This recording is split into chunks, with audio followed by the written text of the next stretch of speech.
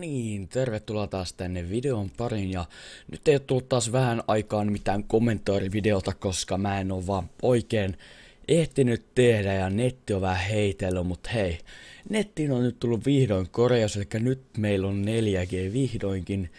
Ja tota, uploadi on noin 10 parhaimpana päivänä, downloadi on jotain 19 parhaimpana päivänä ollut, niin tuota, toi ihan jebin ja joskus kesällä tai joskus joku päivä voi tulla ehkä jotain striimiäkin, mutta joo, nyt tulee videota ja eikä tää giveawaykin tulee tän videon lobus, lobussa, lobussa, läikkä bussa, en mä tiedä. Siis lopussa tää P250 giveaway, mutta sitä ennen bustataan vähän näitä koodareita ja joo, katsotaan mitä meille täältä tulee. Dust 2. olisiko, olisiko, olisiko?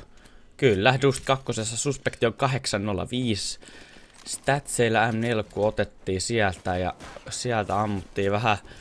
Joo. Joo, katsotaan sitten. Ei vielä ainakaan mitään ihmeellistä. Tää jätkä vähän lagailee. Tää, tää ei oo FPS-lagia.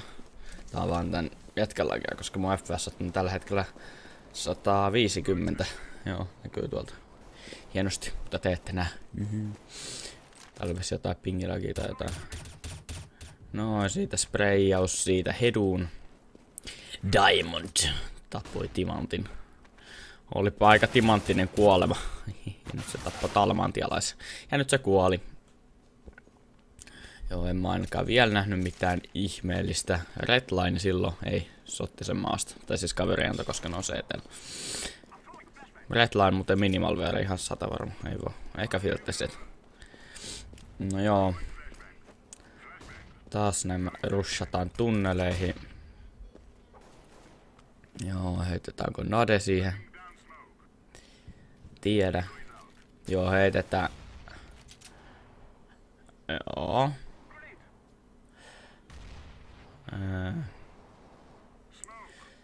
Tää kyllä, hmm.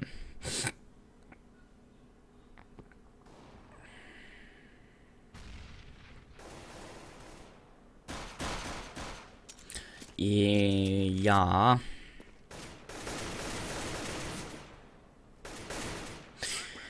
Ei vielä mitään ihmeellistä, mutta toi Nade oli vähän sellainen, että se osasi kyllä ajoittaa se aika hyvin just kun se käveli siihen. En mä tiedä. Voi olla ihan vaan tuuriakin se, en mä tollasesta vielä ota mitään, mutta jos noit tulisi useamminkin, niin sitten voisi ehkä epäillä. Tää jätkä kyllä lagailee niin paljon, niin tässä on vaan vaikea sanoakin välillä. Vähän vaikea sanoa välillä. Nyt kyllä alkaa ihan hullusti. Nimittäin, joo, täällä on ihan oikeesti jotain FPS, ei FPS, no voi olla FPS-lakia tai tota, tällaista pingilakia enemmänkin varmaan. No, siitä saatiin Diamond. On näillä jotain tiimipeliä kuitenkin. Kun tolle osas just boostata ja pyytää sen, niin näillä on jotain kommunikaatiotakin siellä tiimissä sitten, kun boostat siitä saitille sen jätkän. Näkeekö tästä pingejä? Näkee. Ei sillä ole kyllä karkea pingikään. Jaa, katsotaan. Eikö mulla nyt toimia sitä... Aivan. Ei toimi konsole nyt ollenkaan. Ei toimi kyllä eskikään, että mitä ihmettä tää Tämä on huijausta. Tämä on huijausta. No ihan sama. Antaa olla. Ei tää kyllä FPS-laki, että voi olla ihan vaan tän CS jotain bugailua. En tiedä. Ei ainakaan vielä ole mitään ihmeellistä tässä jätkässä, että ihan legit voi olla.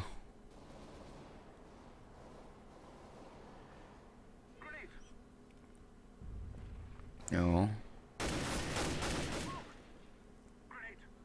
Nyt kuolee. Jep. Hmm. Mä uskon, että on joku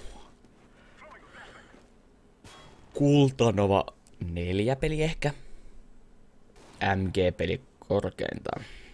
Koska ne osaa jotenkin pelata silleen, että enää niinku on pelaillut Silver-pelejä, niin siellä on vähän erilaista peli kuin MG peleissä. Mut joo, Joo, siinä kuuli sen hyppäävän siitäkin. Mäkin kuulin. Siinä ei mitään ihmeellistä. Sitten kaveri kertoi, että siinä on shortis toinen jätkä. Se kuulee, että on midissä oleva jätkä. Joo, näki ehkä varjostakin. Joo, hyvin pakappas. Tietää, että kaveri tulee sieltä. Joo, noin. En mä usko, että täällä on mitään. Nää varmaan vastustaa, että tiimi on vaan ragennut. Näillä on hyvä tiimipeli ja nää häviää, niin ei oikein tykkää.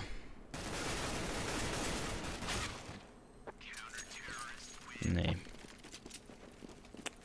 Mitä hemmetti se muuten lähti spinnaamaan siinä se vihollinen. Ja No, antaa olla.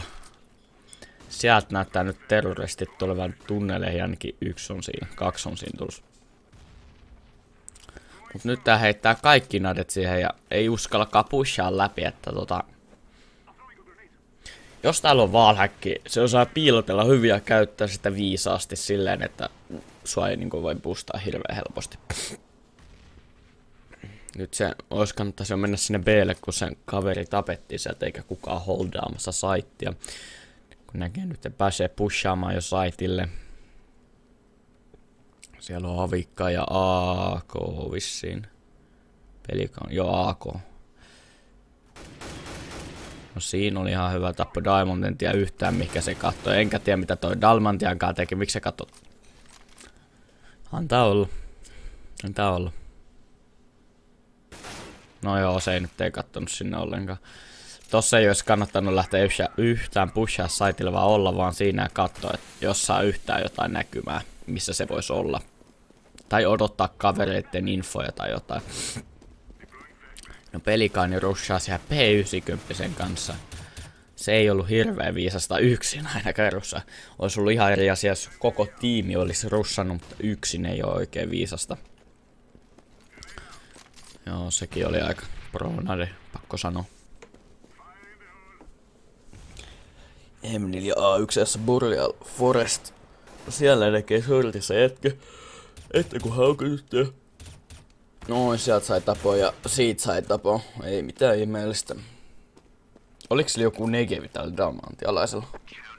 Ei, kun oli sillä ako. Katoa vaan, se kuulosti ihan negeviltä. Ehtikö ottaa avikka? Ei ehtinyt ottaa avikka. Ei ehtinyt, ei. No nyt nää näyttää tuvan peille ainakin kolme niistä terroristeista. Mä en oikein tiedä mitä nämä teet oikein tekee, kun menee vähän niin kuin minne sattuu. Okei, ne meni sitten midi. No hyvä. Jos ne olisi mennyt kolmen tolle kimpassa, kolmen kimpassa, niin ko kolmen kimpassa silleen perussiin, niin se ei olisi ollut oikein järkevä. No niin. Siinä on jätkää hyvä, ettei pushaa läpi smokin tässä tilanteessa, ei kannata, kannattaa vaan ottaa, että kaveri tulee sieltä ja sitten menette yhdessä mieluummin. Nyt vois piikkaa, joo, niin kuin näkee, sieltä saa taponkin varmaan. Vai eikö saa tappoa? No huh. No siitä sai tapo sentäs.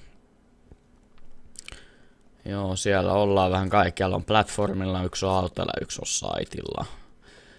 3 vs 3 retake b on haasteli, no nyt se on, no joo, ei saanut reitejä katsoa, mutta hei, tota, en mä löytänyt tästä mitään ihmeellistä tästä jätkästä.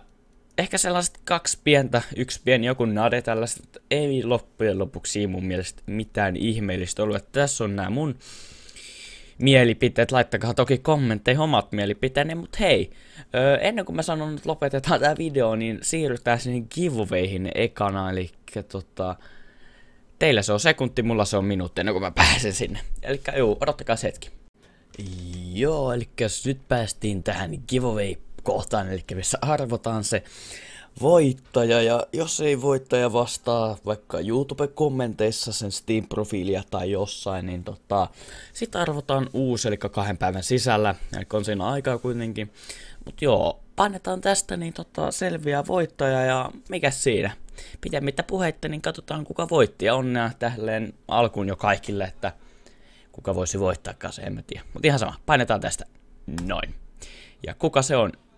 Neimer Gamers voittaa. Osallistuja on mä tossa overissa Joo, niin just.